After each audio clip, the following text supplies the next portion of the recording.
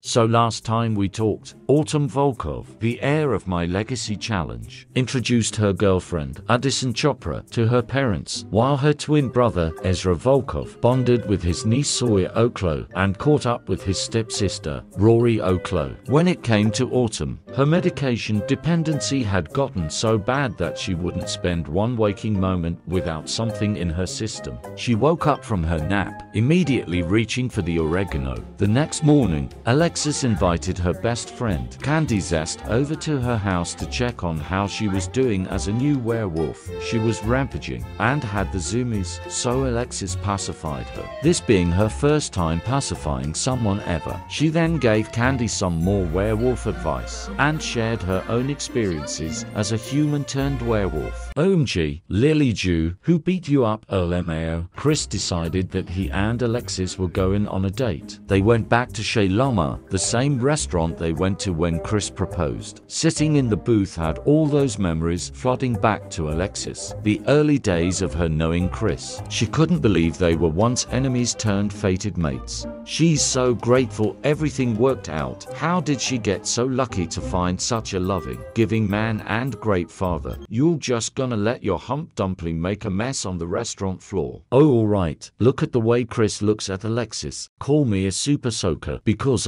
I'm so well. Anyways, Chris ordered for the table. They talked about old times, when Ezra and Autumn had just been born, when she turned into a werewolf, when they got married. This date overwhelmed her with good feelings, making her feel young again. And that's when it hit Alexis. What was going to happen to Chris when she eventually passes away? He was immortal. She always liked the idea of growing old with her spouse, but she couldn't ask Chris to give up his immortality or leave the kids behind. It was something she was definitely going to have to think about. But why think when you can woohoo instead? I mean hey, she was feeling young again, and while her and Chris were getting it on in the bathroom, there was a loud noise.